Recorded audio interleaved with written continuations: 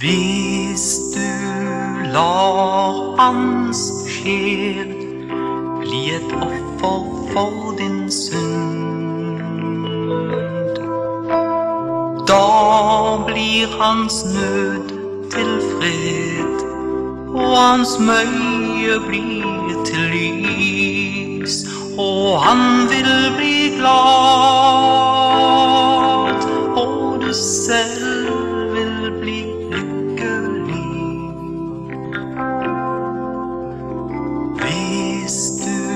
lar hans sjel bli et offer for din synd,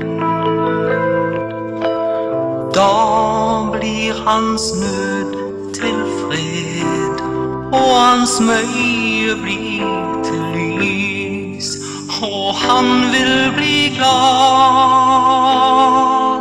og du selv vil bli lykkelig.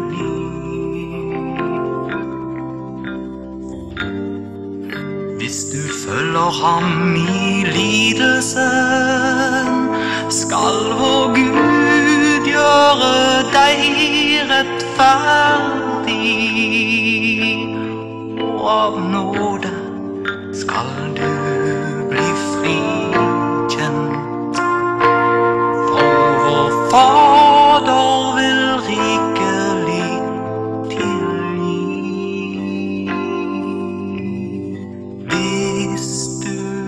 la hans sjel bli et offer for din sønn.